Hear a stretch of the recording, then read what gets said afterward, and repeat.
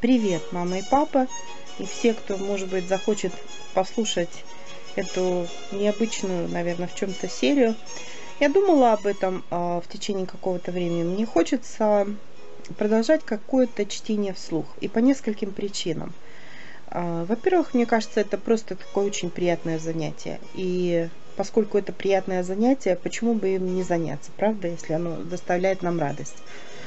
Вот. Во-вторых, а, поскольку у меня особо нет навыков разговорной речи, не с кем мне особенно так вести беседы, я подумала, что вот так же, как для писания, в общем-то, важно писать, читать и писать, это очень важно.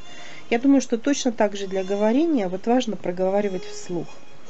И то, что я проговариваю какие-то свои собственные там мысли, пытаюсь вам проговаривать на видео, это одно. Но еще, мне кажется, будет вполне интересно э, почитать что-то вслух. Вот именно, э, то есть со, вот одна из целей такого э, чтения вслух, э, чтобы немножко как-то улучшить свою разговорную речь. Вот, как ни странно, мне это нужно, мне русскому человеку, который живет уже много лет э, вдали и от России, и от русских, в общем-то, мне это нужно. И я думала о каких-то художественных произведениях. Я, наверное, это тоже попробую делать. Ну, не знаю, решусь ли я читать стихи, может быть, какие-то рассказы или там э, друг, другие прозаические произведения. Но я посмотрела на свои полки, и вы знаете, вот мне захотелось именно вот эту книжку взять сегодня в руки. Я не знаю почему, вот она меня позвала. Юрий Михайлович Лотман. Это очень-очень известный э, филолог, культуролог, э, который делал на эстонском телевидении, сейчас я вам скажу точно когда, в 76 году э, э, началась эта вот серия лекций, и в течение пяти лет записывали 35 всего лекций, э, 5 циклов. В течение шести даже лет, но пять циклов лекций, которые были посвящены культуре, русской культуре. И книга это называется «Воспитание души». И вот в нее входят воспоминания Лотмана, интервью Лотмана и беседы о русской культуре, которые э, изначально были на телевидении. То есть он беседовал, он был просто необыкновенно талантливый рассказчик – я не думаю, что мне приходилось слышать, но это вот просто он известен тем, что э, очень-очень интересный был рассказчик. Вот, и после э, эти вот эти серии передач, э, серии бесед о культуре, которые он вел на эстонском телевидении, их сделали, переложили в письменную форму и вот издали в виде книжки. Я не знаю, что, сколько я из этого, может быть, всего одну лекцию прочитаю. Ну, мы посмотрим, как он у нас пойдет. Итак, цикл первый из пяти циклов. А, цикл первый называется «Люди, судьбы, быт». Юрий Лотман. Лекция первая. Передача вышла в эфир в 86 году, и текст публикуется впервые. Сейчас я вам скажу, какой это год. 2003 год. Год, когда моя дочка родилась. Впервые был опубликован этот текст. Итак, первая лекция. Добрый день! Сегодня мы начинаем серию лекций, посвященных истории русской культуры. Но слово «культура» – слово очень объемное, включает слишком много – и нравственность, и весь круг идей, творчества человека. Эта огромная тема, конечно, не может быть нами охвачена в тот короткий срок, который у нас есть в распоряжении. Мы будем говорить о более узких вещах, но все-таки имеющих важное значение. Если подумать обо всем том, что я сейчас сказал, о вопросах этических, художественных, семейных, исторических, все, что входит в понятие культуры, то у всех этих понятий будет одно общее. Культура есть память. Культура складывается и у отдельного человека, и в обществе, когда работает активная память. Культура всегда связана с прошлым опытом, всегда подразумевает некоторую непрерывность нравственной, интеллектуальной, духовной жизни человека, общества и человечества. И в этом смысле, когда мы говорим о нашей современной культуре, мы, может быть, сами того не подозревая, говорим и об огромном пути, который эта культура прошла. Путь очень большой. Он насчитывает тысячелетия, перешагивает через границы исторических эпох, через границы национальных культур. В общем, мы погружены в одну культуру, культуру человечества. Но есть и более узкие, более частные сферы. Есть память человека, и у всех есть память детства, без которой мы не были бы людьми. Память нашей жизни, память о, нашей, о жизни наших родителей, семейная память, память города, память народа. Это все образует разные этажи, разные сферы культуры. Сегодня начнем разговор об одной области культуры, которая тоже есть память. Это культура быта. Мы изучаем литературу и любим читать книжки, интересуемся судьбой героев. Нас волнует Наташа Ростова или Андрей Балконский, герои Золя, Флабера, Бальзака. И мы с удовольствием читаем книги, написанные 100, 200, 300 лет тому назад. Мы видим, что эти герои нам близки – они любят, ненавидят, совершают хорошие или плохие поступки. У них есть честь или бесчестие, они верны в дружбе или являются предателями. И все это нам понятно. И вместе с тем очень многое в их поступках нам непонятно или понятно неправильно, понятно приблизительно. Мы понимаем, что Онегин с Ленским поссорились, но как они поссорились? Почему они вышли на дуэль? Почему Пушкин сам подставил свою грудь под пистолет? Мы много раз будем рассуждать, что лучше бы он этого не делал, ведь мы бы как-нибудь иначе обошлись.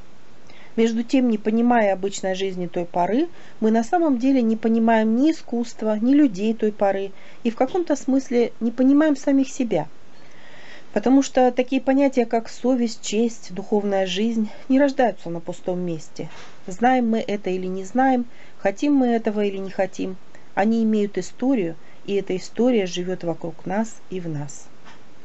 Меняется жизнь, меняется атмосфера, меняются вещи, одежда, обычаи, меняется социальная организация, и люди в чем-то думают по-разному. Все люди любят всегда, но любят по-разному. Вот когда-то, в 30-е годы прошлого века, э, Гоголь возмутился, позапрошлого века уже, Гоголь возмутился. Во всех романах говорится о любви, на всех сценах изображают любовь. А какая любовь в его гоголевское время? Такая ли она, какую на сцене показывают?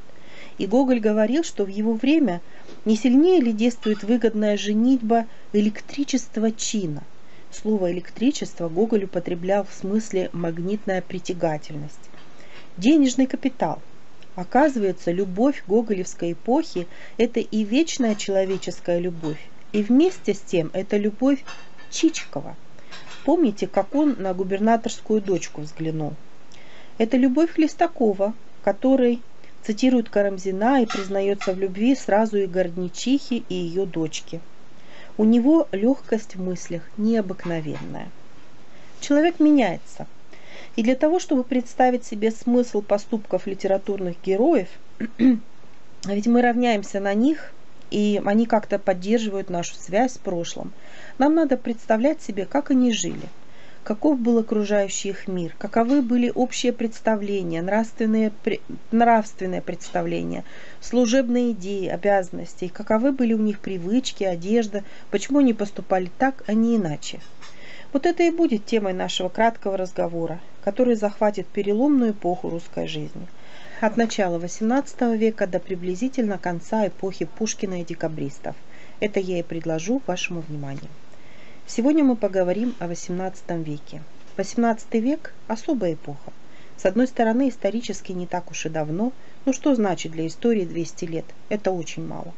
С другой стороны, это уже очень давно, потому что мысли и чувства, поступки тех людей от нас очень далеки, хотя что-то будет нам очень близко. И еще 18 век характерен и интересен тем, что это век перелома. Жизнь, которая сложилась и имела свои ценности, начала быстро меняться. Люди 18 века, как всегда бывает с новаторами, а это все были новаторы, люди, которые рвались вперед – о прошлом думать не хотели, прошлое ломали. Старые здания разрушали, старыми обычаями гнушались.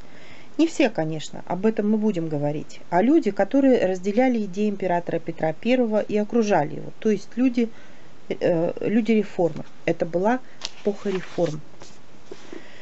Это, эти люди открыто, сознательно, темпераментно рвались в прошлом, и им казалось, что они создали совсем новую Россию. Например, современник Петра сатирик Кантемир – типичный человек этой эпохи. Сам он сын молдавского князя. Отец его, Дмитрий Кантемир, был известный в Европе писатель. Написал на латинском языке историю Турецкой империи. Потом, как сторонник Петра, должен был бежать из Турции, а сын его уже русский поэт Антиох Кантемир. В одном стихотворении Кантемир выразился так. «Мудры не спускают с рук указы Петровы, коими стали мы вдруг народ уже новый».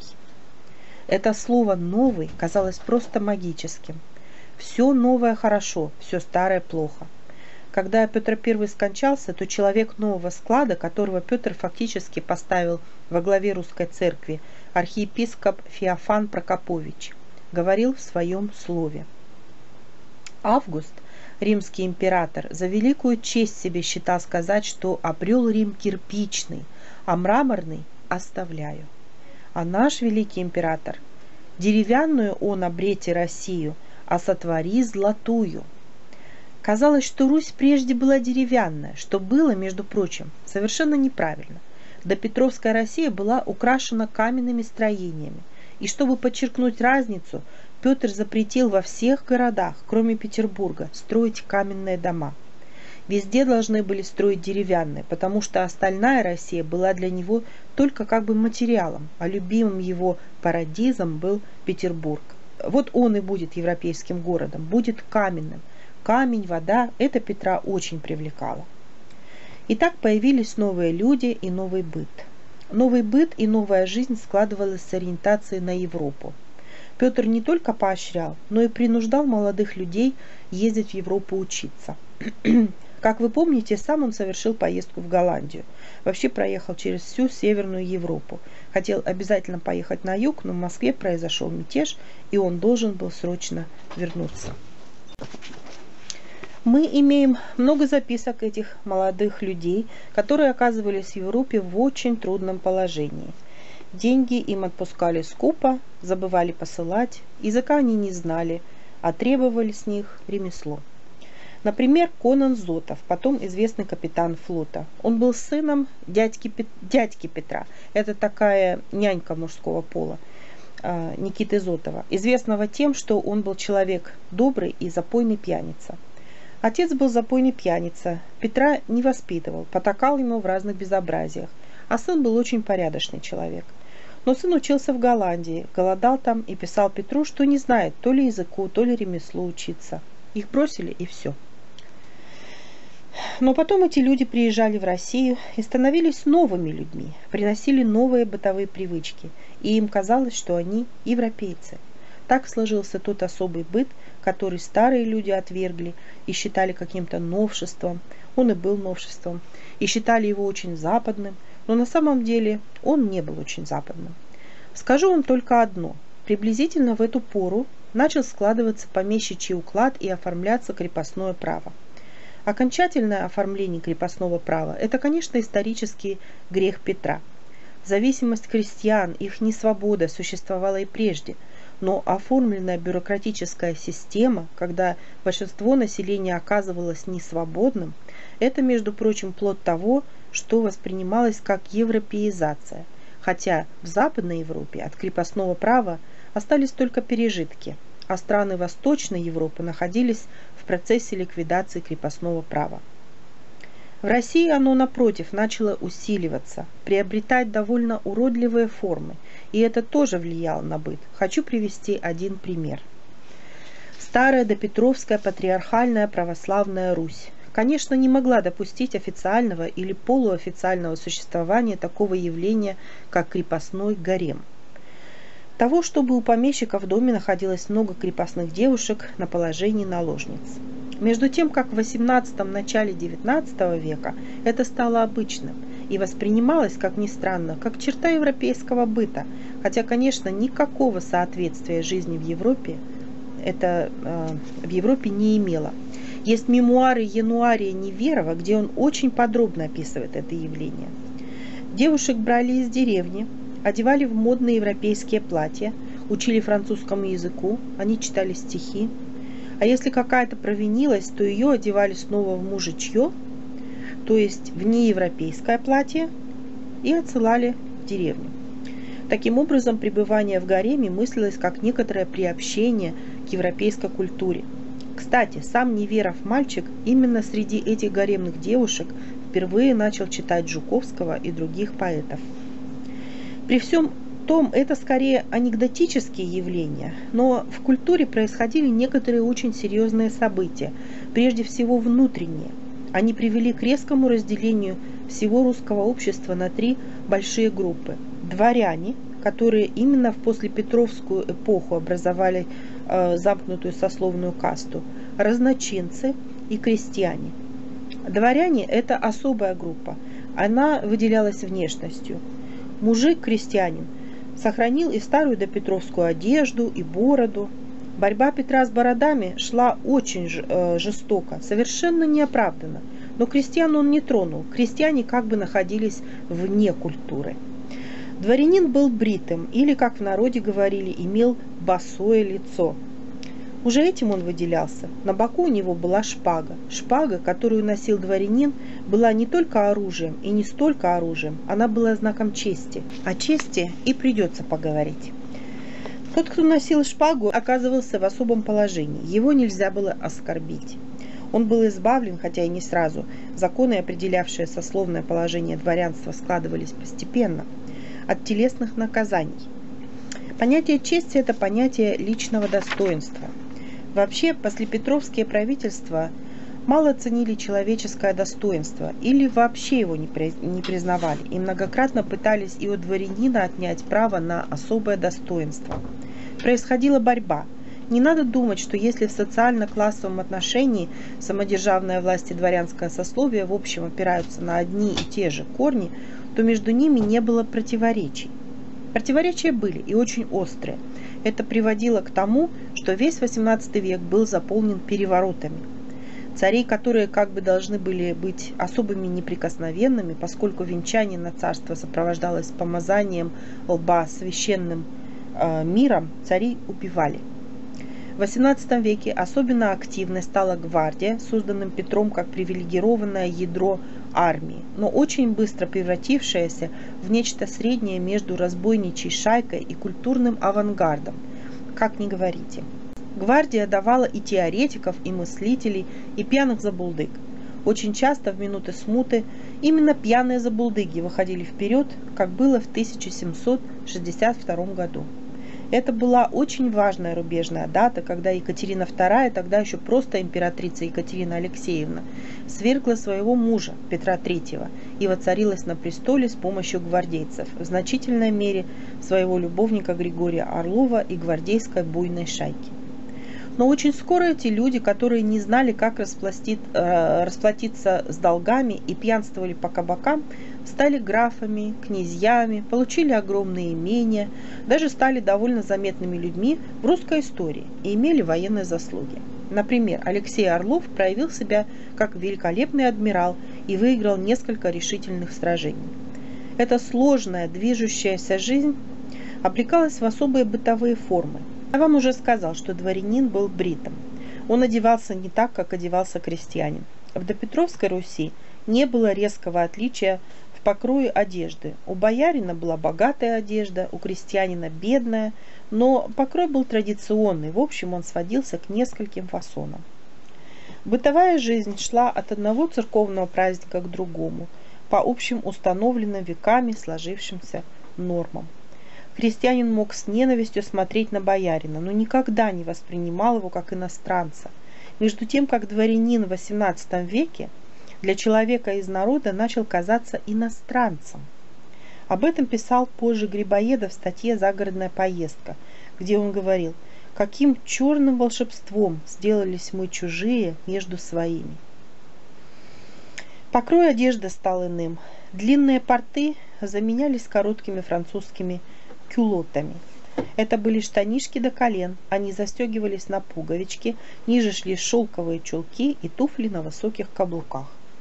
Особые щеголи в конце XVIII века, подражая французским принцам, носили красные каблуки и серебряные или золотые застежки на туфлях. Верхняя часть мужской одежды состояла из кафтана, под которым был камзол. Камзол – это что-то вроде жилета с рукавами. Кафтан и камзол были из тяжелых дорогих материй, особенно кафтан. Камзол часто был шелковый, иногда бархатный, иногда было несколько камзолов. А, щеголи надевали 3-4 камзола. Это казалось очень красивым. Дамы носили платья, которые народу казались срамными, поскольку верх платья был сильно открыт, декольтирован. В допетровской Руси женская одежда была совсем другой, потому что и женщина вела другой образ жизни, не публичный. Хотя не следует думать, что женщина в допетровской Руси была угнетена и не играла никакой общественной роли. Но светской жизни она не вела. Широкая нижняя юбка с фижмами, декольтированный верх, обилие украшений, сложные прически создавали совершенно особый вид женского костюма. Внутренний порядок дома тоже изменился – изменилась система дворцовых интерьеров. Во дворцах жили немногие, и вообще во дворце жить было неуютно. Парадные комнаты дворца, занимавшие, как правило, билетаж, второй этаж, часто вообще были нежилые. Например, сам Петр не любил больших помещений. При высоких потолках спать не мог, и даже в Версале ему натягивали над постелью холщовый полог, чтобы было ниже – над парадными залами располагались жилые помещения. Если парадные залы и жилые были на одном этаже, то они резко различались размерами. Например, табакерка, комната э, в царском стиле, где была спальня Екатерины II, рядом с большими залами, такими как тронный, а также серебряный кабинет, янтарная комната, утраченная потом комната из янтаря. Табакерка была маленькой, даже крошечной по тем представлениям. Жилые комнаты были маленькими. Они уже потому не могли подражать европейским, что в России климат другой, холодно, поэтому большое место в интерьере, во дворцовом и в более скромном помещичьем, занимала печь. Печь вообще вещь старая, связанная со сложными мифологическими представлениями. Печь дает уют, без печи жить нельзя, поэтому ей уделялось много места – в XVIII веке сразу же встал вопрос об изразцах. Их сначала ввозили, голландские ультрамариновые, потом стали делать в России. Но, несмотря на печи, все равно бывало холодно, потому что приехавшие архитекторы планы зданий брали иностранные, начали строить анфилады. Так построен Царскосельский дворец, и так строили и частные особняки. Это такое расположение комнат, когда коридора нет – а комната следует за комнатой, и они образуют как бы одно огромное помещение. Двери, двери, двери, все видно сквозь эти двери. Это было очень удобно в Италии, создавало освежающий прохладный воздух.